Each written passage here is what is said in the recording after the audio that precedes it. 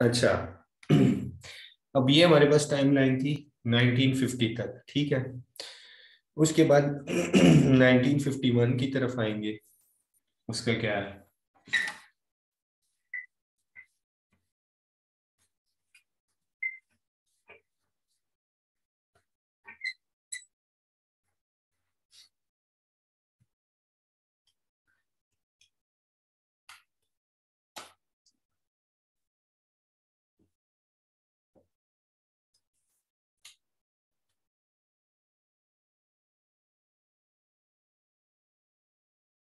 12 फरवरी 1951 को क्या होता है? चौधरी रहमत अली की डेथ हो जाती है। ठीक है। 12 फरवरी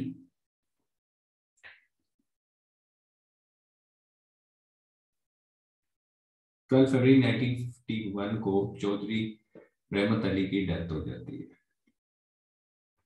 अब देख रहे हैं यहाँ से जो मुसलमानों का जो लीडरशिप जो है ना, वो गैप वैक्यूम कैसे क्रिएट होता है। 1951 में इनकी डेथ हो जाती है, ठीक है।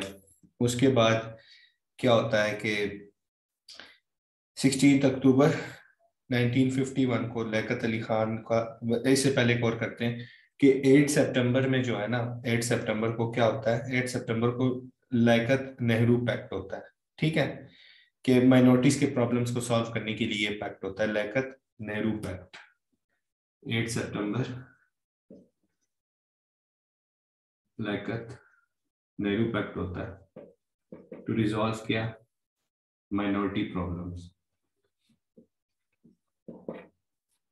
अच्छा उसके बाद क्या होता है?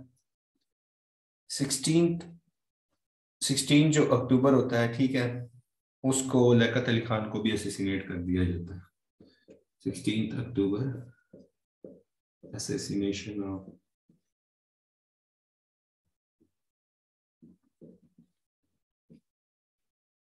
Liaquat Ali Khan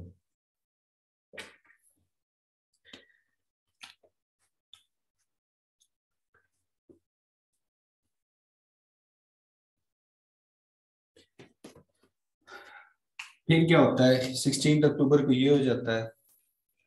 हसत मोहानी मौलाना हसत मोहानी की भी डेथ हो जाती है। अच्छा इसका रियल नेम भी जरा गूगल कर दें। सैयद मेहदी कुछ इनका नाम था साथ साथ वो भी नोट कर लें। 1951 में क्या होता है कि हसत मोहानी की डेथ हो जाती है। डेथ ऑफ़ मौलाना हसरत मोहानी।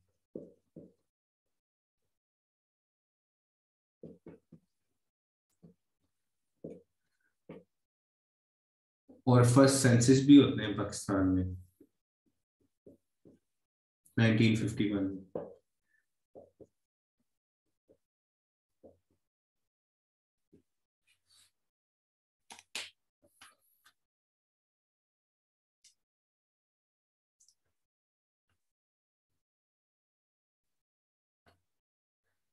अब 1952 की तरफ़ आते हैं। 1952 में क्या होता है?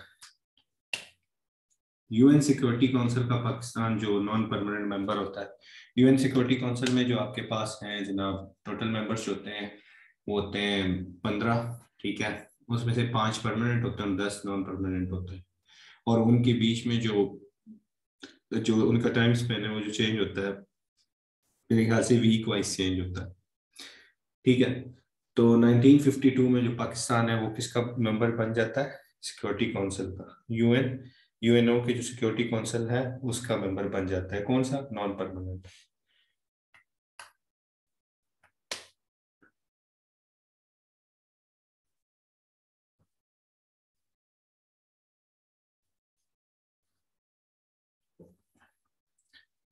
इसका मेंबर बन जाता है पाकिस्तान।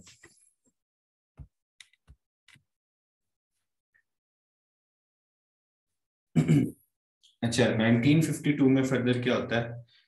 1952 की अगर हम बात करें तो एक ये काम हो गया। 1953 में 1953 में लाहौर में मार्शल लगा देते हैं। 1953 martial law was imposed in Lahore, ठीक है? क्या होता है? मार्शल लॉ इन्फोर्स किया जाता है। 6 March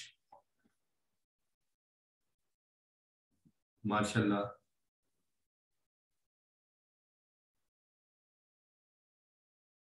imposed in Lahore.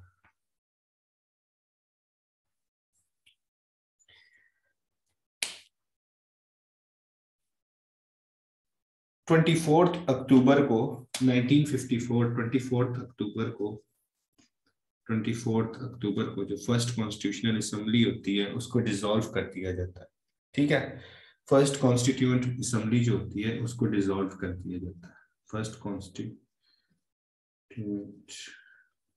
assembly was dissolved.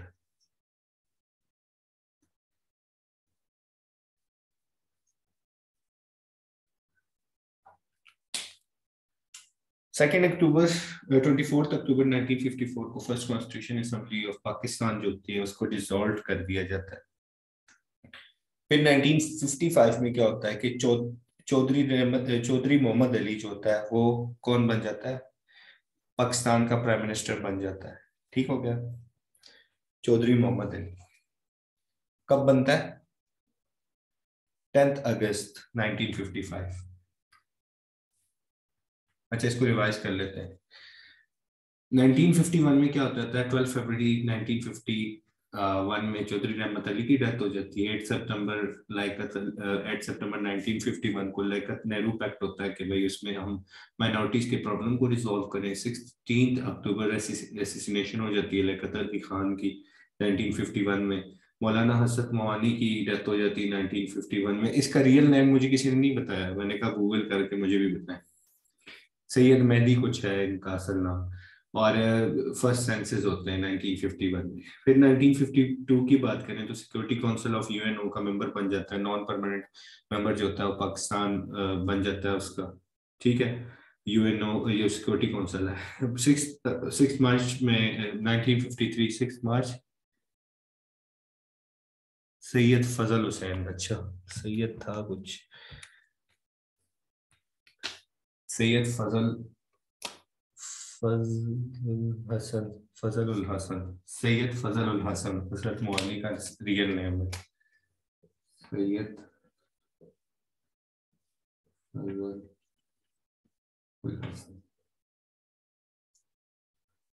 Real name है किसका? मौलाना हसरत मौलवी का। अच्छा। फिर 1953 में क्या होता था? मार्शल लॉ पोस्ट कर देते हैं लाहौर में। Six March nineteen fifteen three को। फिर ट्वेंटी फोर्थ अक्टूबर में फ़र्स्ट कॉन्स्टिट्यूंट असम्बली जो होती है पाकिस्तान की, उसको डिसॉल्व कर दिया जाता है। फिर अभी आगे चलते हैं। ठीक है, चौधरी मोहम्मद अली जो होता है, वो फ़र्स्ट बन जाता है। फ़र्स्ट नहीं फ़र्स्ट तो लियाकत अली खान था। उसके बाद वो प्राइम मिनिस्टर बन जाते हैं। उसके बाद तो ख्वाजा निज़ाम वो था। खैर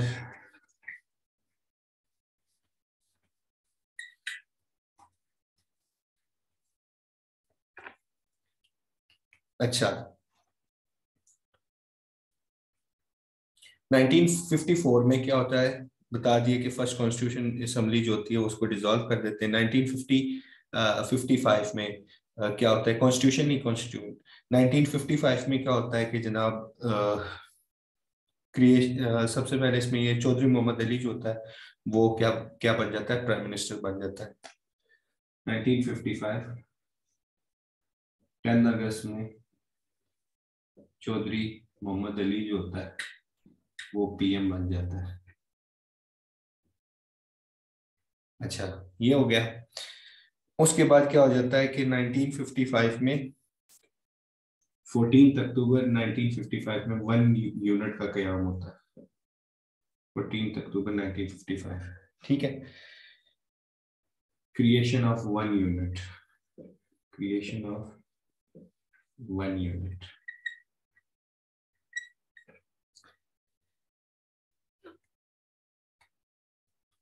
फिर उसके बाद 1956 को देखें तो एक कॉन्स्टिट्यूशन देते हैं, हम 1956 का वो कब देते हैं? 23 मार्च 1956 को। जो इस जो है ना, पाकिस्तान बिकम इस्लामिक रिपब्लिक कौन से आइन के तहत हुआ तो ये एमसीक्यूज आता है, ठीक है? 1956 में पाकिस्तान क्या बना? Islamic republic Islamic republic of Pakistan और कब दिया गया था? ट्वेंटी थर्ड मार्च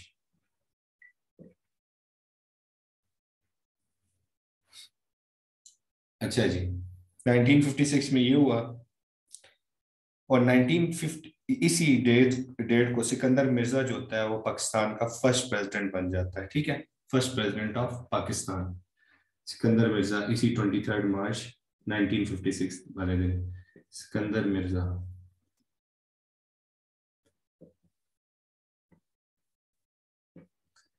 प्रेसिडेंट बन जाता है। अच्छा जी। ये हुआ। फिर उसके बाद क्या होता है? 1956 में मौलाना ज़फ़र अली खान जो है, उनकी डेथ हो जाती है। ठीक है? कब होती है? ट्वेंटी सेवन नवंबर को। Twenty seventh November. Death of Zafar Ali Khan.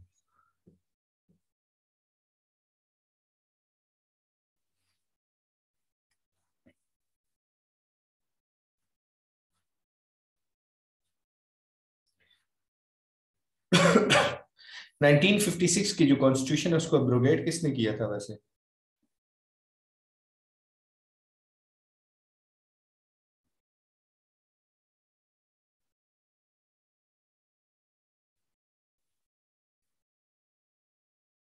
बताएँ 1956 की जो कॉन्स्टिट्यूशन है, उसको अब्रोगेट किसने किया था?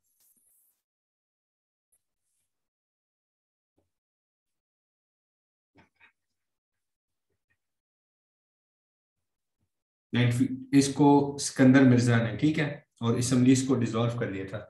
उस दिन हम लोग पढ़ रहे थे वो जो हम एवोल्यूशन डेमोक्रेटिक एवोल्यूशन पढ़ रहे थे, और हम कह रहे थे एट्थ अमेंडमेंट और थर्टीन अमेंडमेंट और फिर उसके बाद हमने मतलब अमेंडमेंट्स पढ़ते रहे। तो उसमें क्या होता था? मतलब रिवाइज थोड़ा सा करा रहा हूँ उसमें ये चीज़ होती थी कि जो प्रेसिडेंट होता था, उसके पास, ये पावर होती थी कि वो डिसॉल्व कर देता था और वो जो है आइन में ये अमेंडमेंट कर देता था। मतलब 73 की ये तो बात हो रही है। बट ये चीज़ होती थी कि उससे पहले ये होता था 73 से पहले ये होता था। फिर 73 में भी उन्होंने ये अमेंडमेंट करते रहे कि भाई जो एडवाइस है, वो पीएम दे मतलब देने का होता है, हकदार होता है प्रेसिडेंट को। बट वो क्या करते थे, वो आइन में से ओमिट कर देते थे और उसको मतलब रिप्लेस कर देते थे डिस्क्रिशन से कि भाई पीएम जो प्रेसिडेंट है वो डिसॉल्व कर सकता है असेंबली को। तो सिकंदर मिर्ज़ा फ़र्स्ट प्रेसिडेंट था तो उसने अप्रोगेट किया 1958 के 1956 के कॉन्स्टिट्यूशन को 1958 में। ठीक हो गया? अच्छा जी। तो कॉन्स्टिट्यूशन को एब्रोगेट कर दिया। Was abrogated by Sikandar Mirza.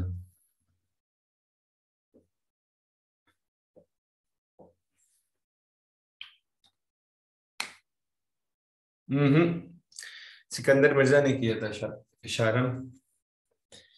ठीक है।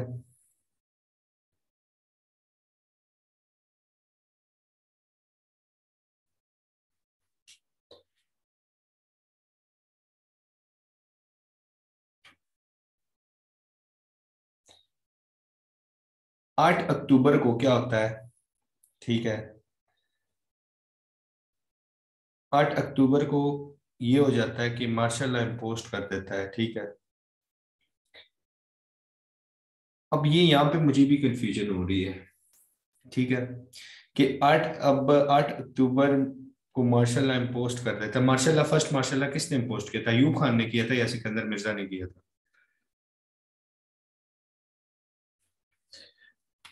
एक minute let me cross check it इसको क्रॉस चेक कर देता हूँ।